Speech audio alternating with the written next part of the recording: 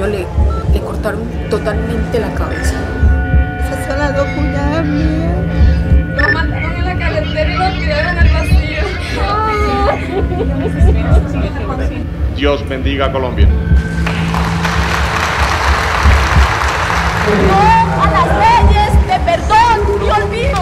Que el Estado creador del paramilitarismo responda por los crímenes. Es un proceso que va a ser ejemplar para el mundo y va a ser visto en 10 años como el gran modelo de justicia transicional que ha hecho el mundo moderno eh, para resolver un problema de violencia. Nunca más la guerra. Nunca más la guerra. Jura usted decir la verdad y nada más que la verdad. Lo juro. Como he dicho ya acá en repetidas ocasiones,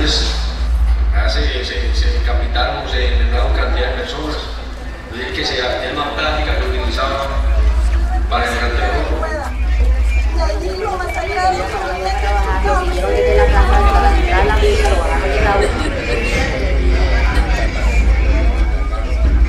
La guerra, ahora me doy cuenta que la única causa no era combatir la guerrilla, pero habían otros objetivos, otros intereses particulares de muchas personas, como de políticos, de empresarios, militares, muchas otras personas de ese país, que son los que realmente se han beneficiado de esta guerra. Justicia, justicia, justicia, justicia, justicia, justicia, justicia. Pienso que el- todo el proceso ha sido diseñado para que la verdad no salga a flote. Entonces, esto es un gran proceso de impunidad. El escándalo de la parapolítica afectó hoy a uno de los hombres más cercanos al presidente Uribe. Por eso la Corte va a estar y la Fiscalía de la Corte Penal Internacional va a estar atenta. Y si tiene que intervenir, intervendrá.